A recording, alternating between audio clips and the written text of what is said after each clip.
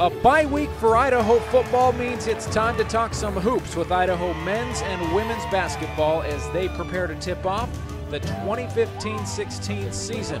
And Idaho soccer in the driver's seat in the Big Sky Conference at 5 0. Head coach Derek Pittman breaks down his team's success and what could possibly lie ahead. Inside the Vandals, next.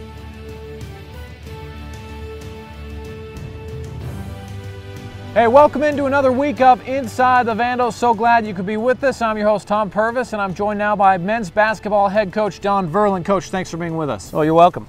Well, Coach, a weekend of practice for you guys. Tell me, what are you most excited about so far for this year's team?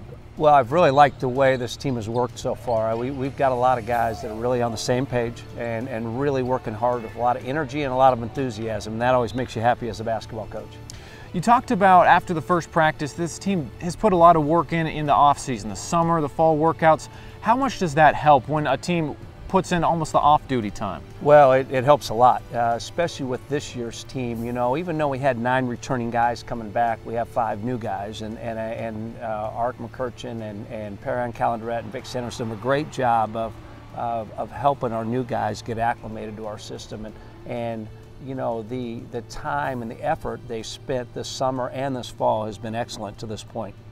You know, you guys have some new starters, four starters lost from last year, and do you normally expect uh, kind of a natural transition period, or do you have some groups that come in and they just go right away? Well, it's, it's always a little bit of both. Uh, you know, this group so far, from, from you know, I think we're nine practices in, um, has, has kind of gone right away. I mean, they, they've really acclimated to what we're doing.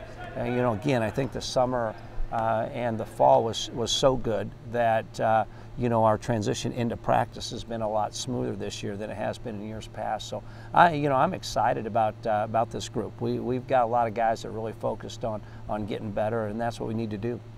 Year two in the big sky for you guys. How does it help, if at all? Uh, does it make you more familiar? What, what is it? It helps a lot. Uh, you know, the big sky plays uh, a lot different uh, than the WAC. Uh, the big sky last year was a very good basketball conference with a lot of returning players. Uh, a lot lost to graduation this year you know, even though we don't return a lot of starters, we, we return a lot of players who played significant amount of minutes. So uh, I think one year in the Big Sky really helps us. Uh, obviously, the travel's not not tough, but just going to different venues, getting used to, to how teams play and what they're doing, and this this style of play is, is really important as you head into year two. And, and we feel like we got a good good grasp on all that. Looking back now, what are the differences between how the Big Sky plays compared to the WAC? Well, the WAC was a, what I like to say a big boy conference. There was always a lot of size, a lot, always a lot of meat around the basket. The, the Big Sky is just completely different. Uh, they play with a lot of small power forwards, a lot more quicker athletic guards than we saw in the WAC.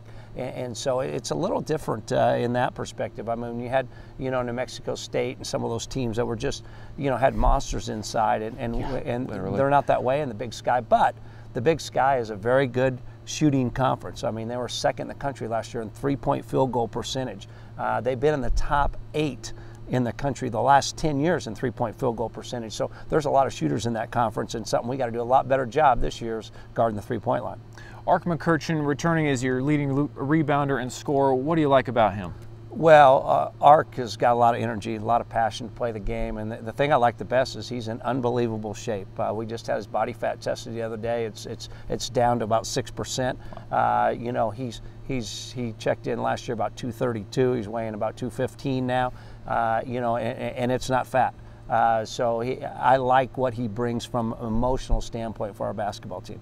How much have you determined who will be starting for you guys right now? Is it still pretty open, or do you are you starting to get an idea? Haven't haven't determined anything yet. You know, we're, we're still too you know too close too too just start. It's the start right now, and it's there's only nine practices. So uh, what we're doing is just trying to figure out uh, the way we want to play and how hard we want to play and and uh, there's no starting spots right now, which kind of makes it good. You know, only one returning starter and Paul Mapawe, but but uh, you know we got a lot of guys battling for minutes, and that's kind of what makes it fun. Yeah, I was going to ask you, how much does that make practice even that much more competitive when you really have guys competing for for jobs? Oh, it makes it a lot more competitive. Uh, you know, you know, every basketball player wants to play. I mean, that's what it's all about, and and and like we've challenged them in this preseason, uh, is is no one has their spot. So let's go out and compete every day, do the very best we can, and and and let the chips fall where they may.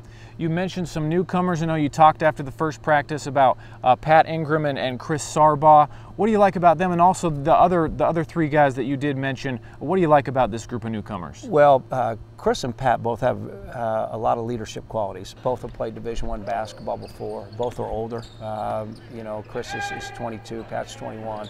Uh, they, they've they've been through it a little bit, so uh, they've they've done a nice job being our floor leaders to this point. We have three really good freshmen. Uh, freshmen I'm really excited about: Nick Blair and, and Miles Franklin and Tyler Brimhall. All, all are kind of all different positions, but all good young players that'll be very good Vandals in years to come. Big Sky Conference now changing their, their tournament setup. You now got a 12 team tournament that will be at the neutral site. I mean, it's kind of nice. Last year, I know at the end, you guys didn't even know where you were going to be playing until basically the very end. Uh, what do you think about the new setup? It's awesome. Uh, you know, we were just out there last week for the Big Sky meetings, and, and it was great. Uh, the, the facility's good. Uh, Reno's really excited about hosting us uh, this year for the Big Sky Conference Championship, and I think it's going to be awesome. You know, all 12 teams are there. Like you said, uh, you know, last year we didn't know. This year we know we're going to Reno. Uh, the top four seeds will have bye. Obviously, that's that's one of your that's one of your goals is, is not have to play the first night of the tournament. But I, I think it, it really helps the Big Sky Conference. I think it'll be a great week in Nevada at the end of the conference season.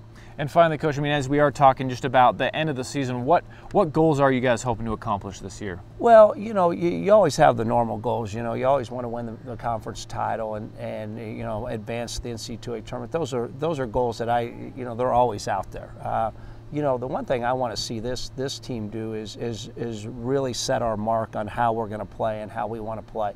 Um, you know, this team has the ability to play really hard, be really physical, uh, you know, and, and be a team that, that Vandal fans uh, can, can, can like, uh, you know, and I really like them. I, I, think there's a lot of really good people on this team, and you'll see us play with a lot of energy and a lot of emotion. And that's kind of what I like to see this team do is, is be a lot more consistent than last year's team was in terms of energy, effort, and being able to do that game after game after game.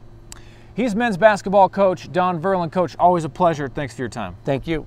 Well, up next, we talk with women's basketball coach Jon Newlee as women's basketball prepares for their season as well. We're back here next on Inside the Vandals.